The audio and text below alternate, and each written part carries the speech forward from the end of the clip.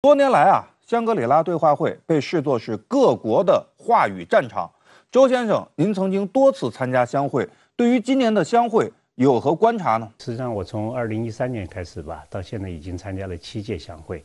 呃，我既是中方代表团参与的组织者之一，呃，也是许多这个论坛讨论的参与者之一。呃，那么应该来说的话，今年的相会的话，它的意义还是非同寻常的。实际上，简单的说，相会实际上就是看两场。一个是看美国防长如何发言，第二看中国防长如何发言。那么，相会的组织者呢非常聪明，因为他通常呢就是把美国防长的讲话呢放在头一天，然后呢第二天呢把中国防长的发言呢放在头一条。这样的话，中间的时间差的话，实际上就是为了让媒体啊这个发酵，同时呢，甚至有些时候呢，就是给中方的代表团足够的时间批评美国的这个论调。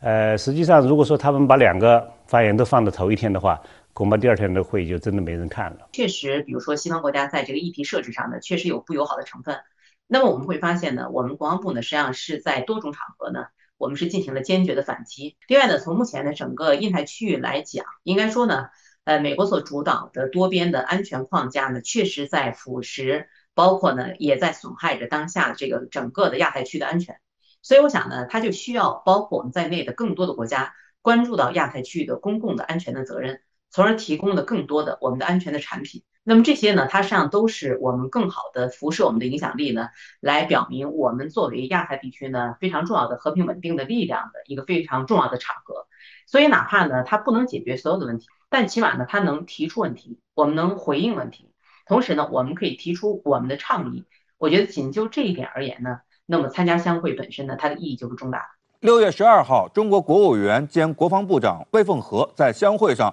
就中国对地区秩序的愿景议题做大会发言。李女士，您如何解读魏凤和的讲话？首先呢，我觉得这个就是对我们中国军队呢未来发展的方向做了一个非常明确的阐述。所以这里面首先呢，我觉得我们表达的是一种合作的意识。那么同时呢，我们当然应该对我们的核心利益和我们的核心利益关切做非常明确的表达。所以，为什么我们要花这样大的篇幅来阐述台湾问题？我觉得这个呢本身就是非常有利的一个传达。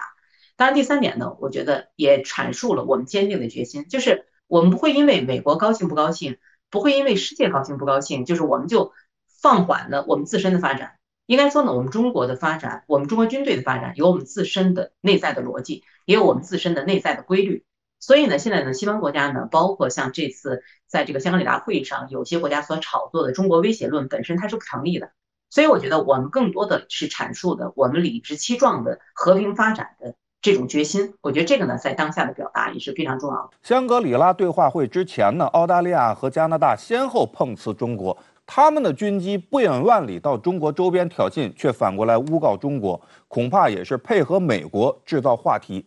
周先生，您曾经多次在相会上以促进海上安全机制为题进行发言，您怎么看西方的挑衅举动？呃，的确呢，海上这个问题的话，我在香格里拉不止一次的发言，我本人实际上甚至率队参加过这样的中美之间的法律方面的这个谈判，所以我非常清楚，在这个问题上的话，双方之间的意意见分歧是比较大的，但是问题在什么地方？就是西方国家的话，它采取了一种非常狡猾的伎俩。比方说，如果我们有问题，我们一定要找到根儿，是吧？然后从法律去解决它。但西方呢，它不跟你进入法律的细节，它只是给你抽象的给你说一个什么基于这个规则的秩序等等等等，我们要遵守法律。就在这个层面上，用一种大而空的东西，企图把你套住，企图对你进行污名化，好像造成印象说你不守法律。那么我们就按照道理来说，我们有问题，我们就应该走向具体的法律，哪一条款？是究竟是什么问题？我们如何解读？我们的分歧在哪里？这才是能找到解决问题的办法。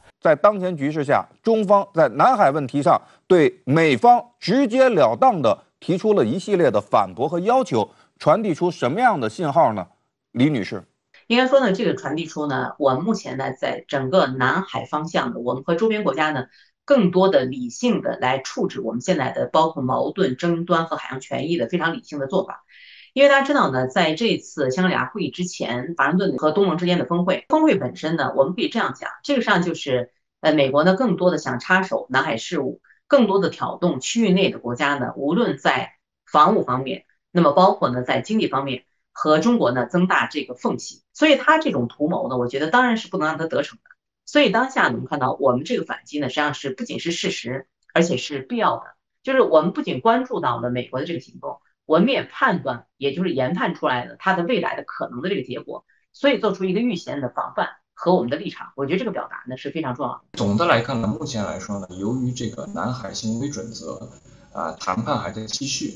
啊，尤其是中国和大部分的东南亚国家呢，其实并不希望。哎，他们之间因为南海而影响他们目前非常良好的这样的一个双边呃多边的合作关系，所以总的来看呢，南海的问题目前哎尚算稳定。第十九届香格里拉对话会于六月十日至十二日在新加坡举行，在中美博弈和俄乌冲突的大背景下，这次对话受到了各方的广泛关注。作为亚太地区安全对话机制中规模最大、规格最高的多边会议之一。本届相会聚集了来自四十二个国家的五百多名政府高层、军事将领和安全专家，其中由部长级官员率领的代表团达三十七个。中国国务委员兼国防部长魏凤和应邀率团出席。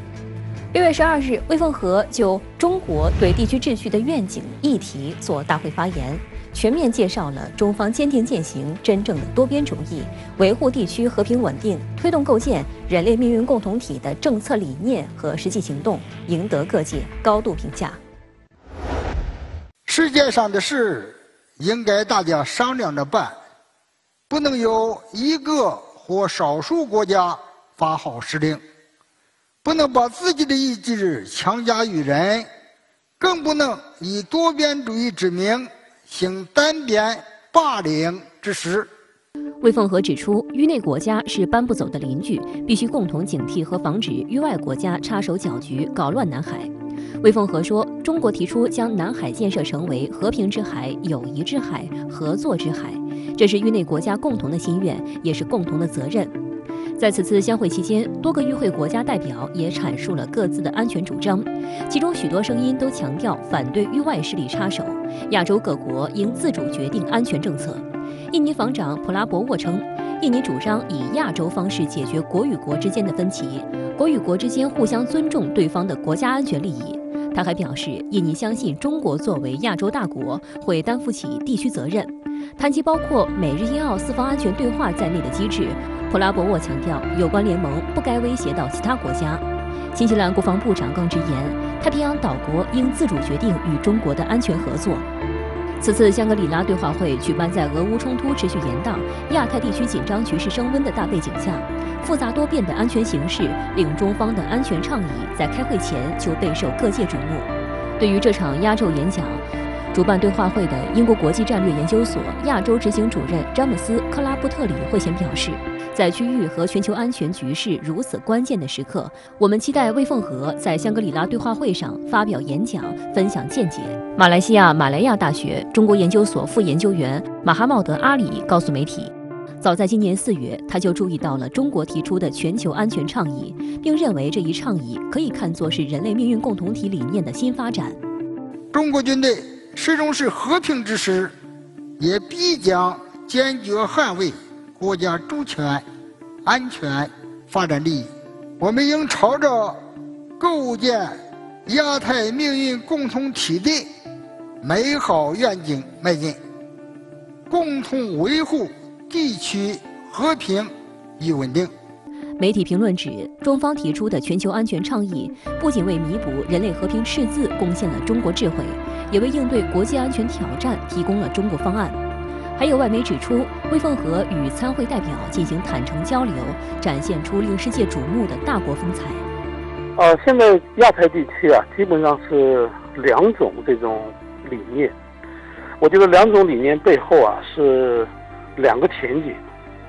呃，头一个理念呢，就是中国倡导的，中国倡导的呢，构建人类命运共同体，就是维持整个地区和平的这种安全稳定。美国呢是另一套理念，跟这个呢很不一样。美国的理念是什么呢？是搞这加强联盟体系，是加强军事部署，是围堵，是遏制。亚太地区呢现在是全球经济发展的引擎，如果把亚太地区也要变成乌烟瘴气，变成这种四分五裂，甚至是这个变成冲突，对抗的一个场所的话呢，这个可能对美国有利，对整个地区都是不利的。所以，所以魏部长呢，这次在这个演讲中是旗帜鲜明的提出了中国的理念，当然也介绍了中国的作为，就是让地区国家看到呢，这个东西由地区国家来选择。我们是愿意选择战乱，还是愿意选择和平？我们是保持这个地区呢和平稳定、发展繁荣，还是要使这个地区倒退多年？我我觉得整个地区国家呢是会做出他们的选择的。在外界关注的台湾问题上，魏凤和在讲话当中再次表明严正立场。他强调，台湾是中国的台湾，台湾问题是中国的内政，祖国统一是绝对要实现的，搞台独分裂是绝对没有好下场的，外部势力干涉是绝对不会得逞的。统一是民族大业，是历史大事，任何人、任何势力都无法阻挡。如果有人胆敢把台湾分裂出去，我们一定会不惜一战，不惜代价，一定会打到底。这是中国不二的选择。分析认为，魏凤和的表态不仅声明了坚定立场，同时回应了外界关切，对有意插手台海的外部势力以及台独分裂分子进行强有力震慑。这也和他在二零一九年六月将会发表的主旨演讲中就台海议题表达的中方立场高度一致。本来这个香格里拉对话会啊，它是讨论这种地区安全问题，主要是国与国之间的。台湾问题，因为是中国的内政，所以他不在这个会上面讨论的。就是从前几年开始呢，这个情况开始发生变化。我没有记错的话，应该是二零一七年。当时，美国国防部长马蒂斯头一次在相会上提出了台湾问题。然后，从二零一八年、二零一九年呢，美国也基本上每次都在会上面提这个台湾问题。今年呢，也开始奥斯汀演讲的时候呢，他是用比较大篇幅来谈这个呃美国的一中政策啊，就包括这个台湾问题啊，包括美国要给台湾足够的这种防御支持。要是台湾有足够的能力进行自卫啊，等等等等，说了很多，所以我我觉得魏部长这个讲话是对奥斯汀这个讲话的一个回应，所以我我觉得这个已经讲得非常充分了，就是已经展示了中国维护国家这个领土主权、维护国家统一的这种坚定的决心和意志。在相会多边场合，尽管中方代表团有时会面临一些负面声音，但中国从未缺席，并在各场多边场合积极主动沟通和发声，包括在会议间隙与相关国家防长、主要代表进行双边会见，并召开记者会介绍中方行程，回应外界关切，以此传达中国军方声音，阐述中方立场观点。深圳卫视记者梳理发现，在此次相会期间，中方代表团共举行了包括吹风会在内的多场公开会。我昨天晚上我就注意到注意到一个消息，这个外媒呢炒说这个乌克兰总统泽连斯基十一号下午呢，他做这个视频演讲的时候啊，说中国代表团全体退场，这完全是胡说八道啊！我看了之后非常吃惊，因为过去啊，我们也看到有些歪曲啊之类的，因为我不在现场。所以呢，我我感受不像这次这么明显，这次是非常明显，因为这就是这就是白的还是黑的。如果你说一个东西好还是不好，你可以主观主观这个表达，但是我退场还是没退场，我就坐在那个地方，从头到尾的坐在那个地方，然后呢，呃，他就能把一个黑的说成白的，所以很多东西呢，我觉得确实是要澄清。现在这个舆论场，尤其是这个国际舆论场非常乱，鱼目混杂。就是什么东西都有，所以我觉得这个新闻局它及时的开一些新闻会啊，就是要把这些东西澄清，就是要呢让大家呢看到到底发生了什么，我们根据事实来做出正确的判断。在中外多位专家看来，这充分展现出中方诚意，也体现出中方对维护和促进亚太地区安全的高度重视。有专家指出，中国是个负责任的大国。不会轻易退出任何对话平台，即使有时候受到质疑或攻击。深圳卫视记者也多次亲临相会现场，见证中方团队坚定发声、激浊扬清的关键瞬间。很多人认为它是美国的一个舞台，它召集了很多地区国家的这种高官学者在一起。呃，我们可以有两种处理办法，一种呢就是置之不理，他说他的，我也不用理他；另一种呢就是我们参与进去，因为讨论亚洲安全问题啊，西方呢经常，尤其是美国，经常是把中国作为靶子来来说的。所以这样的话呢，他就不断的来说中国话题。如果说中国话题，中国不参加的话呢，那就是任由他去说，他来塑造中国的形象，由美国来塑造中国的形象，那么完全完全错了嘛。所以中国呢必须得去，中国必须得派这个高级别的代表团去，去了之后呢，我们发出中国的声音，我我们讲中国的故事，我们讲中国的理念。然后呢，让国际社会呢，反正大家也都在场，至少知道中国是怎么想的，中国是怎么做的。此前呢，就有分析认为，岸田文雄此次讲话的重点是想在美国的印太战略当中确立某种日本的主导性。说白了，狐假虎威。那么，日本的如意算盘打得响吗？周先生，我觉得这是不太可能的，因为日本的话，在无论是在哪个区域，它都说不上主导，哎。它基本上就是美国的一个政策上的一个随从而已。啊，应该讲这个美国，呃，我个人感觉他这次相会其实重要，他还是希望和中国能够尽可能的达成一些谅解。呃，但是呢，从日本的角度呢，因为它其实是这个印太四国中非常重要的一个一个成员，而亚太地区呢，从目前来讲，如果包括像从军事实力、从科技力量。啊，日本是是亚太这些盟友中间是实力最强大的，啊，也是最有可能呢。这个包括在这个呃遏制中国方面呢，可能呃这个能起到相当作用的这样一个国家。所以呢，呃，不管是美国的期待也好，还是日本自己的这个愿望也好，日本呢这个呃他的这样的一个积极的这样的角色呢，也不足为奇。中国国务委员兼国防部长魏凤和十二号也与日本防务大臣岸信夫举行了会谈，这也是二零一九年以来中日防长首度面对面会谈。周先生对这次会谈有何观察？实际上，香格里拉会吧，大家看热闹呢，都是看中美之间如何之间斗嘴哈，然后媒体也报道很多，但实际上有一个功能的话，大家知道的不多。也没办法知道，那就是大家都利用这个多边的会议的机会呢，进行了大量的双边的会谈，是吧？中美要会谈，中日要会谈。还有一个什么非常有趣的现象呢？就是由于中国现在力量呃非常强大，很重要，所以各国家是争先恐后的都希望跟中国代表团会谈。所以实际上的话，作为安排了起来的话，我们是呃颇呃颇费这个周折的，因为的话你很难拒绝一个人要跟你会谈的这个要求，而且他的级别跟你一样。你比方像韩国这样的，我印象中好几年前的话，就一定要跟我们会谈，因为当时间确实抽不开。他说：“那行，那那就咖啡厅五分钟也行。”等你到了咖啡厅之后，你发现实际上韩国的记者早就把这个摄像机啊，这个照相机早就架好了，在等着呢。哎，他就等着要拍这个镜头。韩国的防长要跟中国的防长这个见面。如果说韩国的防长要是跟中国的防长见不上面，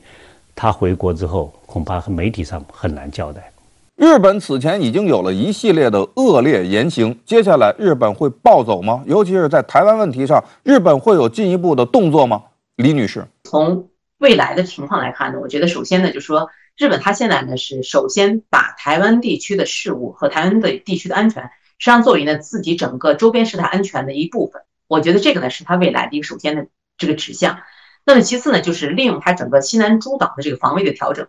这些年呢，整个日本在西南诸岛的防卫呢，实际上包括几个层面。你比如说呢，推进它的大型的这个空中的无人侦察机的平台的这个建设，包括推进预警机的西南方向的部署，包括推进反导链的西南地区的部署。而这个呢，更多的它会和目前台湾地区的整个的防空圈实际上做一个有效的一个链接。而这个链接呢，未来呢，就给日本潜在的介入到台海事务创造条件。而第三个呢，我觉得就是在更多的表述上，特别是。呼应美国的所谓的日本要积极行动的这个表述，承担更多的关于未来台海冲突的可能的责任。所以呢，我们会发现呢，最近这几年呢，应该说呢，美国和日本在所谓的台湾未来的可能的这样一个危机冲突方面的一些预案是在增多的。所以从种种迹象表明呢，我们说呢，未来日本呢，它实际上呢正在更多的介入到台海事务，这个也是我们需要警惕的。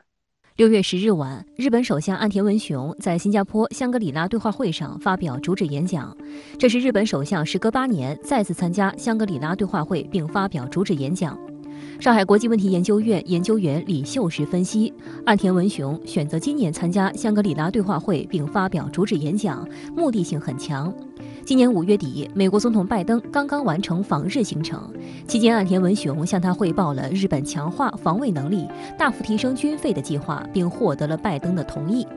据日媒此前透露，自民党内已经汇总草案，向政府建议拥有对敌基地攻击能力，要在五年内将日本军费提升至国内生产总值的百分之二。呃，当下呢，正好是欧美日各国集中对俄罗斯的呃对乌军事行动施压。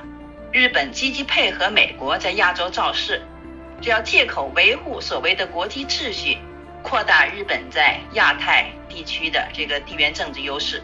岸田要主打外交和安全牌，争取七月参议院选举全胜，实现他长期执政的目的。为年底修订国家安保战略，就是推出岸田版的国家安保战略打下基础。岸田文雄的此次讲话中最引人注意的是，首次提出所谓的岸田和平愿景。这项计划包括五个内容，详细论述了如何扩大日本的安全角色，从根本上增强日本自身的防卫能力。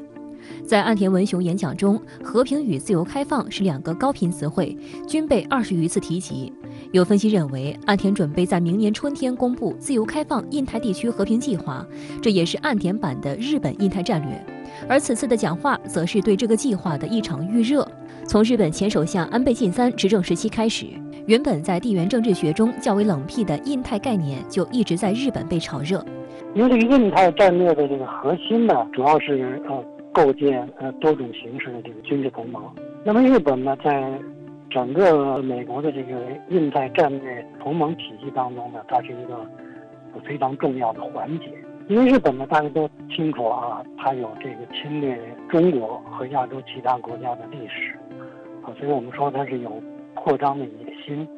和这个扩张的这个传统。这个印太战略给了他这么一个机会，让他可以以这个推行印太战略为名，公开的突破这个和平宪法的限制啊，呃，扩军备战。不过，在涉华议题上，岸田文雄的措辞相对严谨。唯一一次提到中国是在关于核裁军的部分，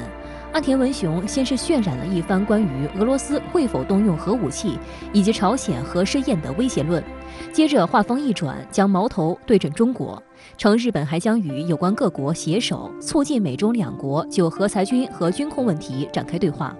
在谈及南海、东海和台海局势时，岸田均避免直接点名中国。在措辞方面，岸田老调重弹，再次搬出所谓的南海仲裁案，称应当对违反国际法、试图靠实力单方面改变现状的行为提高警惕。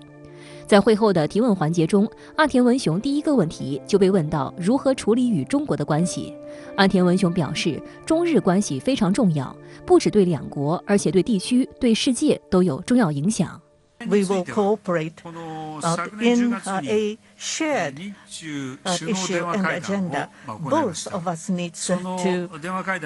make efforts to build such a relationship.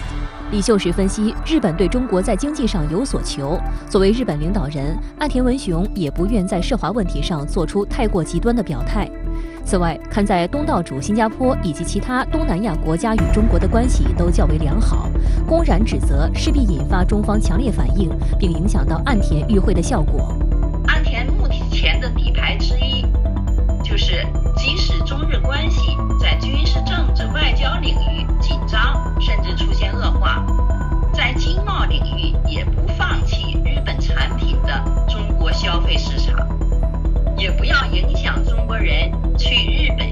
本消费的市场。日本深知东盟等国不愿意在日美与中国之间选边站队，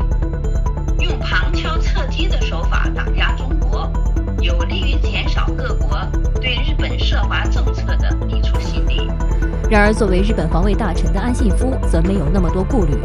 六月十一日，在香格里拉对话会的第二场全会上，岸信夫在发言中多次对华放狠话，被日媒称之为异常强硬。此前，美日印澳举行领导人会谈时，中俄在日本附近举行联合军演，中国已经明确回应演习是例行性联合空中战略巡航，不针对任何国家。但岸信夫却在本次发言中以此做文章。称这两个军事强国的联合军事行动无疑会增加其他国家的关注。他还借题发挥，称台湾海峡的安全与稳定对日本和世界的安全很重要，并称中国是一个令人担忧的国家，并趁机为日本增加国防开支证明，称日本处于维护国际秩序的最前线。值得注意的是，同一天，日美韩国防部长会晤后的共同声明强调了台湾海峡和平与稳定重要性。并表明强烈反对任何片面试图改变现状、升高紧张的行动。日本共同社报道，日本防卫省表示，这是日美韩国防部长会谈首度提到台湾。此前，由于韩国方面的反对，台海等涉华议题一直没有进入相关的联合声明中。有分析认为，安信夫在十一日的对华强硬表态，是为其在十二日与中国国务委员兼国防部长魏凤和举行的双边会谈来争取更多的筹码。这也是二零一九年以来中日防长首度面对面会谈。会谈期间，岸信夫果然继续对华放狠话，表达了所谓对中国试图单方面改变东海和南海现状的担忧。据称，岸信夫提及辽宁舰在日本近海进行演习有关事宜，强烈要求中方保持克制。他还称，日本在台湾问题上的基本立场没有改变，但表示台湾海峡的和平与稳定对日本以及国际社会都至关重要。此外，岸信夫还与魏凤和就俄乌冲突等地区和国际事务交换了意见。据日媒报道，日中防长会谈原定为三十分钟，但最终持续了一小时以上。我们注意到，台湾问题在今年的相会上分量大幅增加。不仅中美防长会晤时谈到了，美国国防部长奥斯汀在讲话当中也拿出相当的篇幅来讲台湾问题。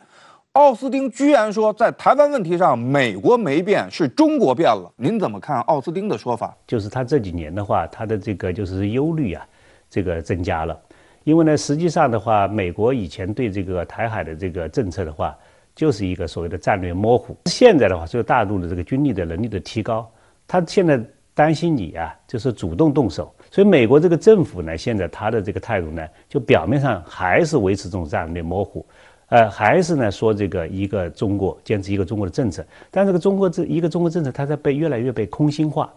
啊，这就是他他的这个伎俩。美国打台湾牌也是花样百出，赶在相会前搞了一笔对台军售，然后呢，美国飞行员驾驶着台湾的 F 十六又在夏威夷出了趟事故。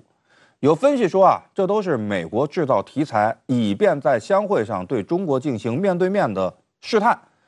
李女士，您如何看？呃，我认为这里面不仅是有试探的成分，实际上呢，更多的也有挑衅的成分。实际上包括的美国现任的官员，而且是级别比较高的官员。也不断的增大到台湾岛内访问的力度，我觉得这些呢，实际上都让我们看到，它是除了军售，除了穿越台湾海峡的这些军事动作本身的更危险的声音。那么另外呢，我觉得这里面实际上还包括呢，就是有一些美国国防部的高级的官员，比如说太平洋舰队的司令，包括印太区的司令，那么他实际上呢都传递了很多危险的声音，比如说太平洋舰队的司令，那么谈到整个美国未来会保护台湾等等的一些言论。那么这样一些言论呢，实际上呢，它都会助长岛内的这种台独势力的这种气焰，从而给未来的两岸形势呢带来极大的不确定。我觉得这些呢都是需要避免的。魏凤和在和奥斯汀谈到台湾问题的时候，也提出了两个不惜：不惜一战，不惜代价，当面锣对面鼓。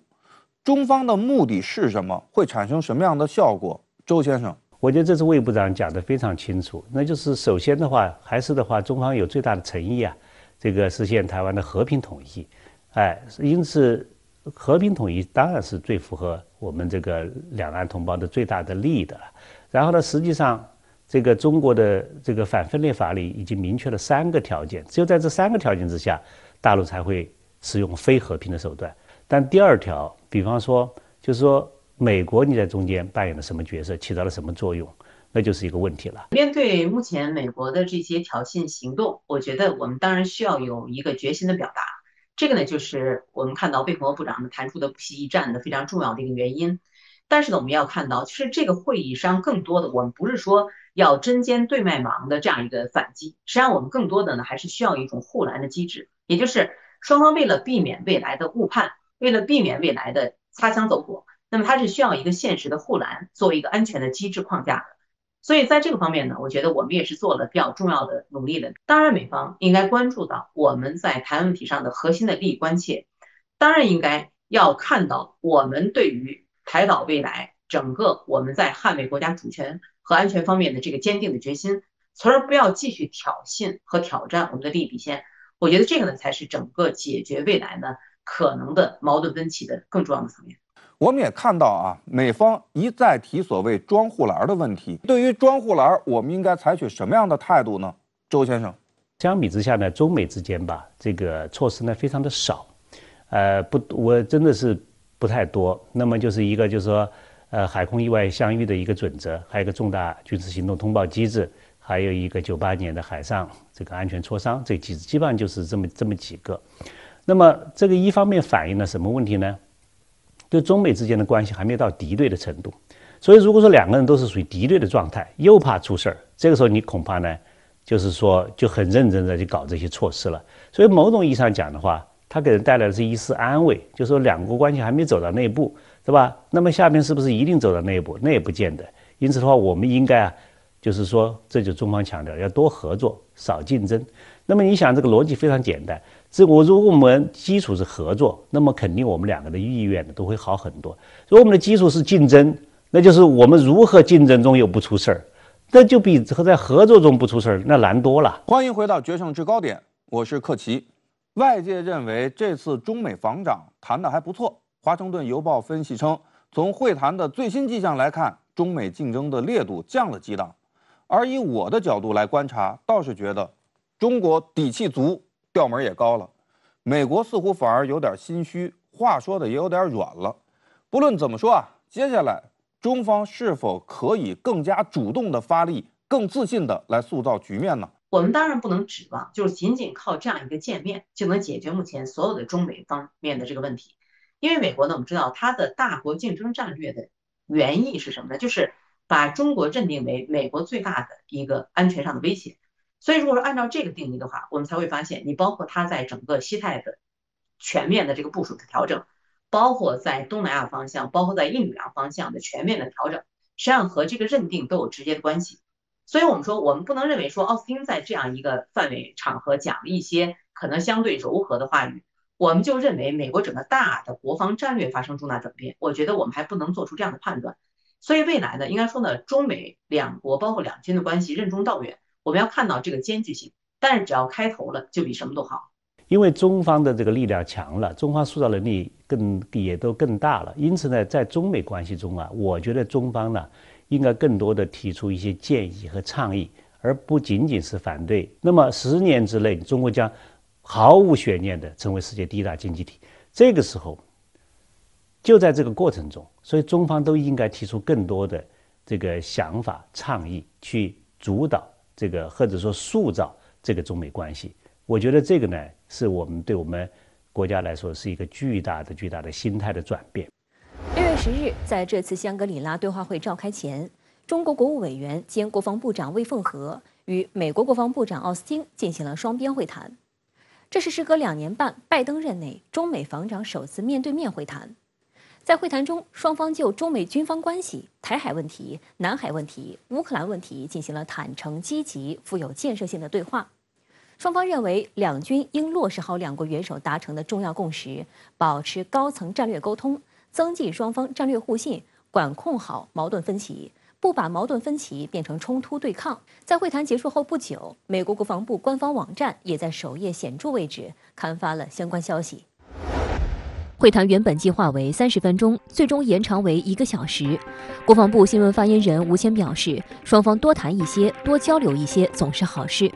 其实，这从魏凤和在不出会场时对会谈评价顺利也可见一斑。部长，会谈的如何顺利吗？顺利。《华尔街日报》评论称，在当前台海局势较为紧张的情况下，奥斯汀与魏凤和的会晤将具有格外重要的意义。特别是就在相会召开的前两天，六月八日，美国决定向台湾出售价值约一点二亿美元的军舰零部件项目。会谈当天的六月十日，有媒体报道，美国飞行员参与驾驶 F 十六战机从美国飞回台湾花莲基地，也给这次会晤增添了很多关注度。而在美国国防部网站发布的新闻稿中，“台湾”一词也出现了八次。奥斯汀强调了关于台湾海峡的和平与稳定是美国严重关切的部分，呼吁中国大陆保持克制，避免采取动摇台海稳定的行动。再次传向美方清晰的传递这样的意思，就是希望美方能够在台海问题上不要错判形势，也不要低估我们的决心和意志和能力，不要向台湾当局发出错误的。也不要挑动台湾问题。实际上，美方呢，他对于这个问题呢，也是宣示了他一贯的立场，包括他明确的表示的不支持台独。So let me be clear. We remain firmly committed to our long-standing One China policy, and we do not support Taiwan independence. And we do not seek a new Cold War, an Asian NATO. 实际上，他所谓的这个三不寻求啊。 如果放到演讲当中来看，更突出这个感受啊，它是一个叫口碑心事，也就是他说一套做一套。我们看到近年来，实际上正是美国在我们周边的一些敏感问题上面，不断的在挑动、挑起一些对抗，尤其是拜登政府上。美国对于中国进行战略遏制的一些手段和一些打压的举动，实际上都是一些冷战手法。它实际上已经在这么做。它目前的印太战略啊，它的一个核心就是在地区建立一个反华、台华、恶化建立的联盟伙伴体系。所以从这个角度来讲的话，它的这个三个不选择实际上是相当虚伪。我们要注意到，现在呢，在相会的平台上，当美国大谈台湾问题的时候，应该说是对台湾问题国际化的一种恶意的极力的推动，某种程度也是在试水地区国家的反应。就在奥斯汀公开讲话之后，中央军委联合参谋部副参谋长张振中在香格里拉对话会期间对中外媒体表示，台湾问题是最容易把中美关系引向冲突对抗的问题，如果处理不好，会对两国关系造成颠覆性影响。中国对于此次相会，美国在安全议程上的套路看的是非常清楚的。对于美国既惹事又怕事，既想借台湾问题对中国打压。又怕引火上身，中国也是同样看得非常清楚的。所以呢，当中方在台湾问题上做出相关表态的时候，既是延续此前国际社会的共识，世界上只有一个中国，中国是有底气的。那另外呢，也是针对近一时期美国的一些新手段、新动向，在进行精准的回击。华盛顿邮报分析称，尽管双方仍是主要战略竞争对手，但从会谈的最新迹象来看，中美竞争的烈度降了几档。《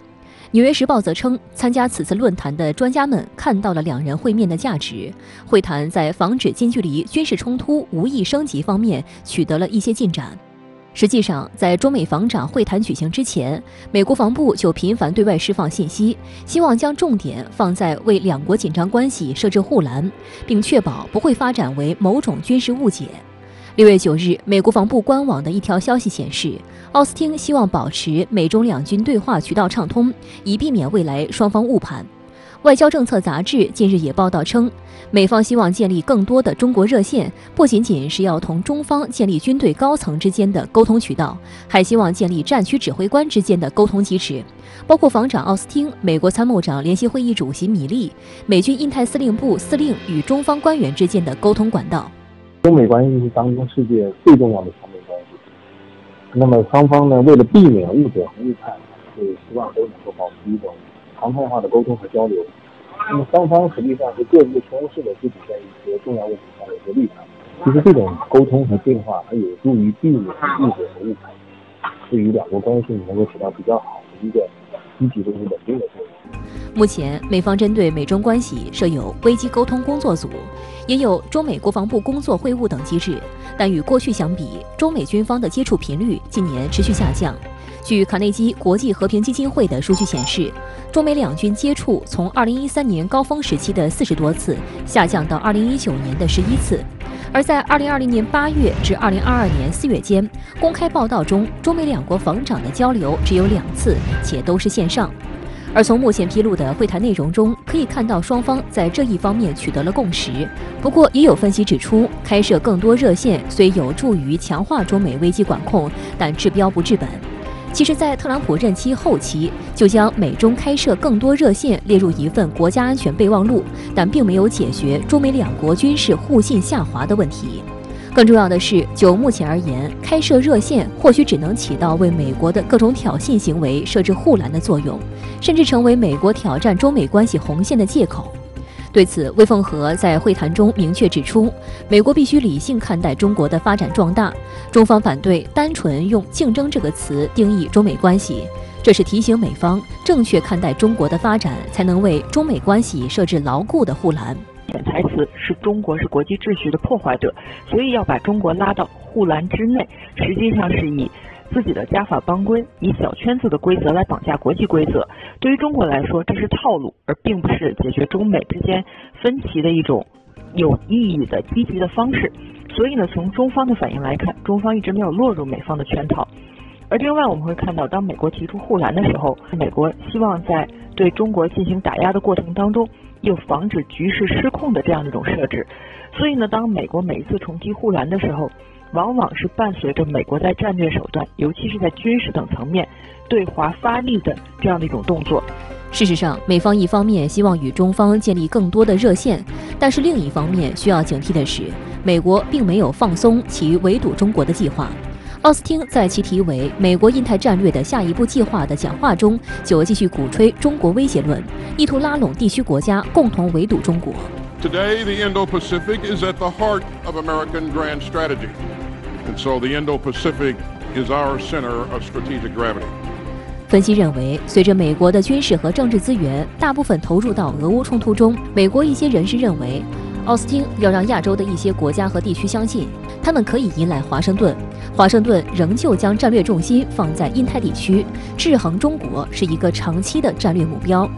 在讲话中，奥斯汀还说，美国增强军事能力和技术实力可以成为印太地区的稳定力量。他透露，美即将造出反导激光拦截器原型炮，并说美国正在研发隐身战机、无人机平台、高精度远程火力杀伤工具等领域的新装备。在此前拜登的亚洲之行的过程当中。当美国在经济方面发力的时候，观察到的是地区国家是对美国的印太战略仍然有所顾忌，所以现在呢，涉及到更加敏感的军事安全领域，美国也在小心翼翼地观察地区国家的反应，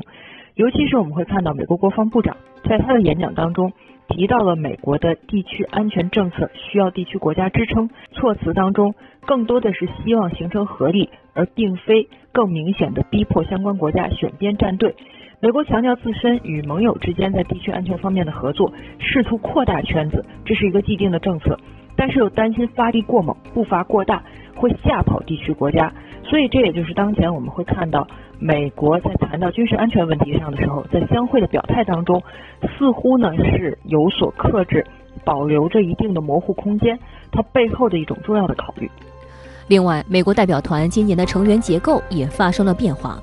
往年，美国的代表团成员都包括国防部长、印太司令部司令以及参联会主席或海军作战部长，但今年取代后两者出席的是美国海岸警卫队司令员、海军上将费根。奥斯汀在讲话中还特意提到了他，并说明年美国海岸警卫队将向东南亚和大洋洲部署一艘快艇，用于安全合作和培训平台。从美国的角度来看，海岸警卫队首先。在进行相关的动作的时候，似乎某种程度的避开了一些复杂敏感的问题，尤其避免与地区大国在军事上正面相撞的方面，是保证了更多的所谓的美方的安全性。那另外一方面呢，是美国认为海岸警卫队这样的一种所谓准准军事力量，在进行合作的过程当中，某种程度也可以消除地区国家的疑虑，但是同时又可以发挥一些作用。所以当美方派出相关力量的时候，考虑到的并不是维护地区安全的问题，而是尽可能的把美国的军事战略手段延伸到亚太地区的一种精准的设计，而这种设计本身带有极强的大国竞争意味。